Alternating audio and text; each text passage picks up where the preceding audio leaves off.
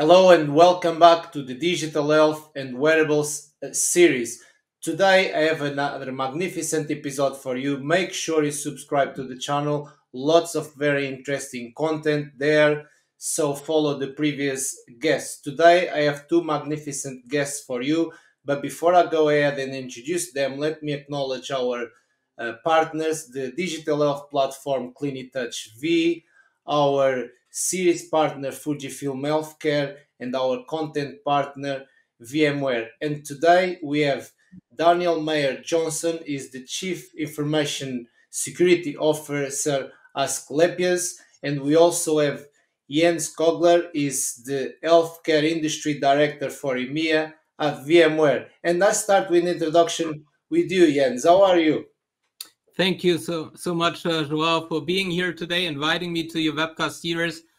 I have been a follower of it since the beginning, and thank you for all that you do. Um, it is so great to learn about new topics through your show. And uh, here at VMware, one of the largest IT software companies in the world, we believe that to be the best possible partner for our customers, you need to understand their specific industry drivers and the challenges. My name is Jens Koegler. I'm the VMware Healthcare Industry Director EMEA and support our sales teams in their mission to become a better partner for our healthcare customers like Asklepios and want to thank Daniel Maier-Johnson for helping us and being here today with us. Thank you. Brilliant, Jens. Thank you so much. Daniel, nice to see you. Over to you now. Yeah, thank you, Joe. Thanks for having me here. Um, hello to Jens. Um, I'm very glad that I can give some inputs here in your show today. And so I would say, let's start, Joe.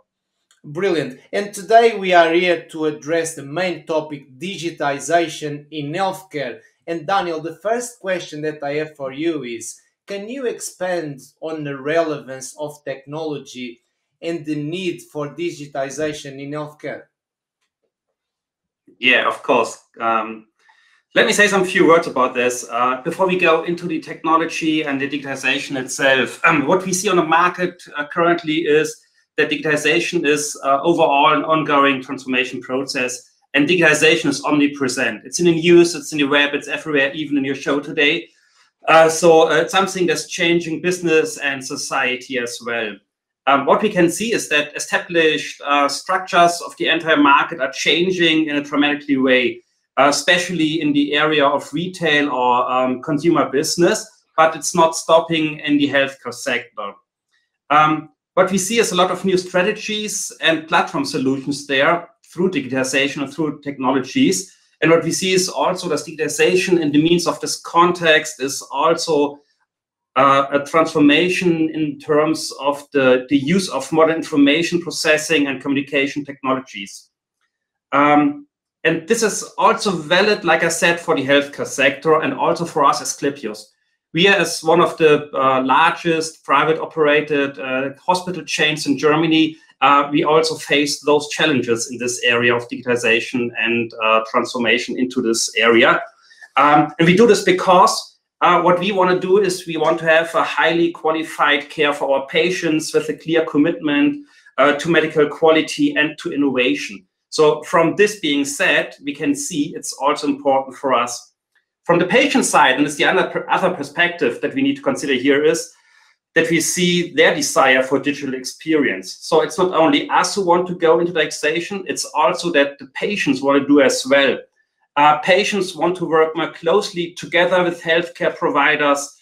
Uh, they know very special their personal needs on the digitization side.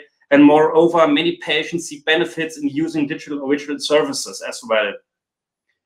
The other peer group we have got to consider here is also, uh, let me say, our internal customers from our IT perspective. Our internal customers are medicals, uh, physicians, and nurses, uh, and they also have a need for digitization, and they see also the major benefits for the patients in this area.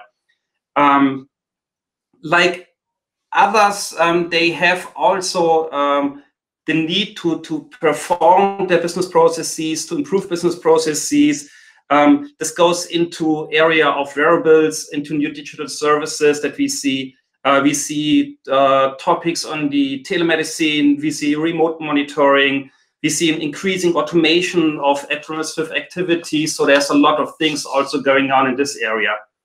And coming from this, technology plays a prominent role in our future at Asklepios uh, and our services, of course. Without technology and without the digitization is something we cannot fulfill our goals that we see from our business side. We need technology and we need digitization for the processing of large amounts of data, for robust um, and resilient uh, processes, and for precise analytics within our internal business processes. For automation, and we see chances along the entire value chain uh, in the hospital area. And this includes so-called patient journey and also clinical processes. The basis for this, and coming back to the technology part of your question, is uh, that we need some kind of a digital backbone there, some kind uh, of an IT infrastructure we can rely on that is secure and it's also high performant. Uh, common technology platforms are the basic for this prerequisites. Standardization is also important for us, also simplifying systems maintenance, but also simplifying data exchange between different silos in the hospital area. And this also can be realized with a powerful IT organization and has to be secured by established information security processes, mainly mine part as a, as a CISO at Asklepios. So you see, reliable and efficient uh, technologies is the basis for digitization, and digitization is needed to fill, uh, fulfill our mentioned goals. Oh, brilliant. Uh, Daniel, thank you so much. You really cover a wide range. You mentioned wearables. I'm a fan of wearables, but telemedicine, the digitization, you really cover a lot of different aspects. Thank you so much. Moving on to the second question. Daniel, would you explain to us the role of the Chief Information Security Officer and the importance of security in healthcare, please? Yeah, of course. Um, I would say the chief information security officer plays a key role in that.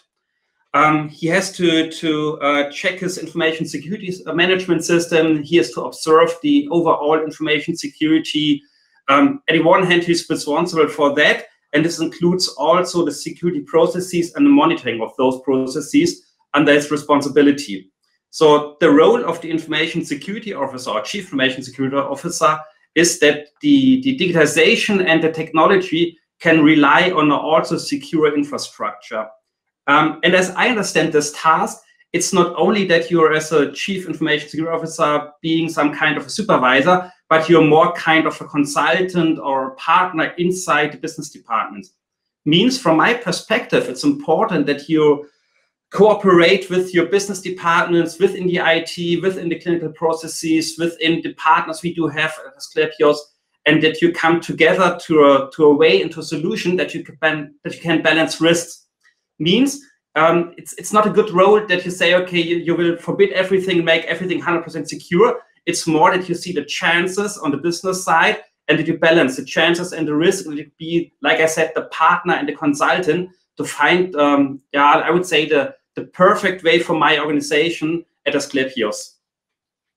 Um, on this journey, it's very important that you bring together departments. So the role of the chief information security officer is also a lot of communication. It's a lot of um, uh, uh, bring up awareness for information security and IT security, uh, to teach the people um, and to to um, talk to the people that we do this not only to fulfill external requirements but also internal requirements and internal motivators we do have because uh, we want to be um, a reliable partner for our patients and, of course, for our business partners as well. And this is especially true in the healthcare sector.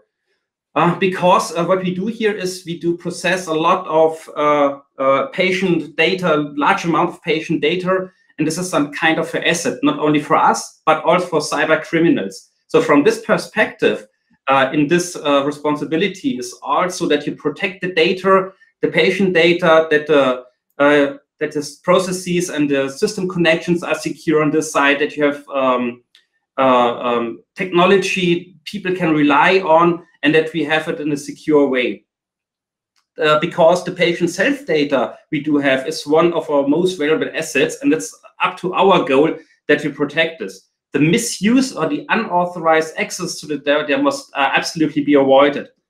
At this point, from my um, point of perspective, the CISO must insist to compliance with IT blueprints and standards.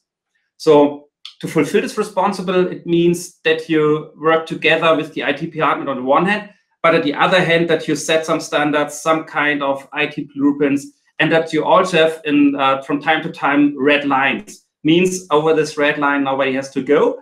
And this is then the role to explain to the people, to the business departments, why we have that red lines and what kind of risk is not acceptable anymore. Oh, brilliant, Daniel. Thank you so much. A really extensive role is not just about the security. You mentioned the internal processes, the standards, even the training of bringing departments together. So thank you so much. A complex role and with a high responsibility attached. The next question that I have for you, Daniel, is what is next for you and what advice would you give, would you have for our viewers and listeners how to start and what to focus on first? Um, yeah, I would say um, the, the, next thing on my uh, um, roadmap is uh, to go on with digitization at Asklepios. And this means um, from the very important um, uh, point that we define more these IT standards and IT blueprints, but like I said, in a balanced way together with business departments. So it's um, that we uh, have some kind of internal rule set, some kind of internal um, processes people can rely on and uh, they know exactly what they can do and what they can't do. So it's kind of um, what technology is inside allowed, what kind of technology processes, what kind of risk we want to avoid. Um, my advice to, to other CISOs or to people working in information security is um, that you first have a look on your own company. So um, it doesn't make sense from my point of view that you just take any blueprint that's available on the market uh, and try to adopt this on your organization. It's more like this. You have the first look into your organization that you understand very clear what is your uh, business strategy of your company, that you very clearly understand what are the most important business processes that you know um, very exactly what KPIs you want to rely on and what not. And from this point, then you can drop down into kind of an IT strategy. And from that, you can drop down into the uh, uh, information security or IT security strategy. Um, and this is something that's very unique from company to company. So uh, the, the, the, most important advice from my side is uh, first look into your organization, talk to your business departments, to your peer contacts in your organization, uh, ask for their needs, balance the risk together with them, and then set up the information security management system. Oh, brilliant. Daniel, thank you so much for that. So basically, first do a bit of like an internal evaluation I, I really like that. Fantastic advice. Uh, Daniel, the fourth and last question that I have for you is um, would be great if you could mention the importance of working with the right partners. Um, yeah, that's a good question uh, because uh, you can't do this alone. It's something where you need partners. Uh, you need to buy technology from the market. Some from time to time, you need to buy consulting services uh, you want to ask others for their experience in the information security area. So you need uh, some kind of partners, and, I think it's very important that you find the partners that fit to you. So um, to partner with somebody is something that should be a long-term run. It's nothing that's from a day-to-day changing. So it's um, something where you find a partner that fits to your strategy. A partner where you know, okay, his roadmap is mainly the same, your idea, what you have on your strategy or your roadmap inside. So partnering with somebody is something that's uh, uh, something that needs to fit together. Uh, brilliant. Um, I have now a question for Jens. We're gonna bring him back in if you like. Daniel, thank you so much for that amazing uh, insight and contribution. Jens, nice to see you again. And Daniel mentioned there the importance of working with the right partners. And the question that I have for you is could you, can you give us an overview of VMware's mission in healthcare and how you are helping your customers in overcoming the challenges in the context of security, please? Yeah, sure. So, in a nutshell, we help as an organization, we help our customers and their employees to access any application with any device on any cloud securely And we support IT organizations to build, run, connect, and manage all their applications securely. But let me get a bit more healthcare specific here. Uh, we have in for healthcare, we have three focus areas, and that is agility, outcome, and trust. Or in other words, our customers expect from us the ability to be agile and that we support them to extend the reach of care anywhere with modern IT. We help them to modernize their existing healthcare IT systems through a modern and resilient IT and with our digital foundation, which they can rely on. And we also support our customers improving care and outcomes for empowering their clinicians and uh, patients. All that while protecting healthcare brand and data. And just to summarize that, we take care of the world. Uh, we, just to summarize that, we take care of the tech while our customers take care of the world. Unfortunately, our healthcare customers are facing more and more cyber attacks. So we put a special focus on this area. With our tools, we help customers to minimize the IT attack surface. We help to quickly detect anomalies in the network and to take automated action to immediately stop an intrusion. Today, in my opinion, it is no longer good enough for a modern security concept to just shield the network as good as possible, but it is necessary to understand activities in the network and to react immediately in case of any unexpected changes. Speed is of essence, and uh, because attacks often remain undetected for far too long, and then they can lead to a major damage. And I would like to take this opportunity to invite your viewers and your listeners to contact me if they are interested in discussing a security analysis and strategy with us. Brilliant. Jens, thank you so much.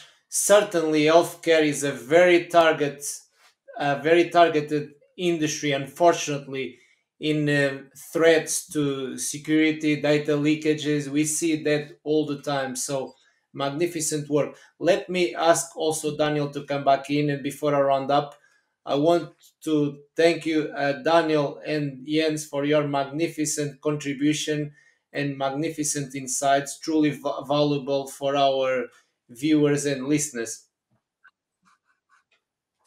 Thank you. Thank you. Thank you. Thank you. Thank you so much for having you here. Now I'm going to round up to our viewers and listeners. Uh, make sure you subscribe to the channel.